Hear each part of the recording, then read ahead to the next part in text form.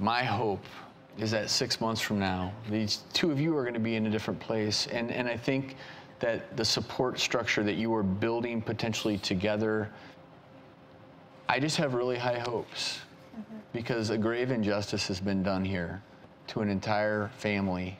And I'm sorry that you both had to go through this.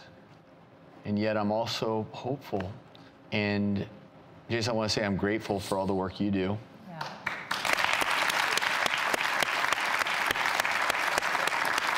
Lindsay, I'm grateful that you showed up today when you didn't have to.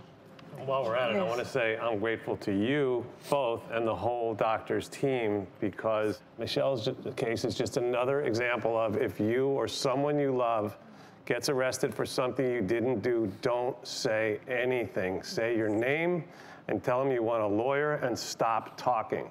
That's so important because uh, my goal is to prevent things like this from ever happening again. Obviously, we'll never be able to totally stop it, but if we can save one more person from going through, and it might be someone you love, it might be one of you, it, might, it could happen to any one of us.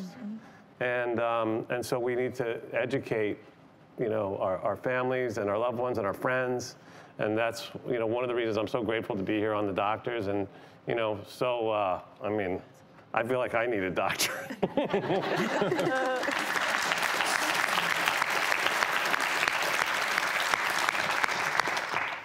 I want to thank you all for being here today. And, and Lindsay, Michelle, may the healing begin. And you actually, maybe it gets back to the anything you say can be held against you. And if you are arrested and being falsely accused, don't say anything. Get a lawyer there. They're not And your friends. They're not your friends. They're not on your side. Um, in Michelle's case, she was interrogated for eight hours without an adult or a lawyer. She was 17. It was illegal in the state of Oklahoma to interrogate a minor without the presence of an adult.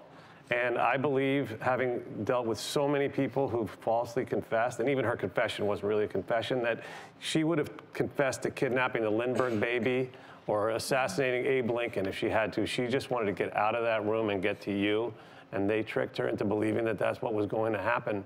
And that's how we ended up in this situation. So it goes back to what I said before. Just say your name and you want a lawyer, and then stop talking. And, and again, I'd say keep up the great work.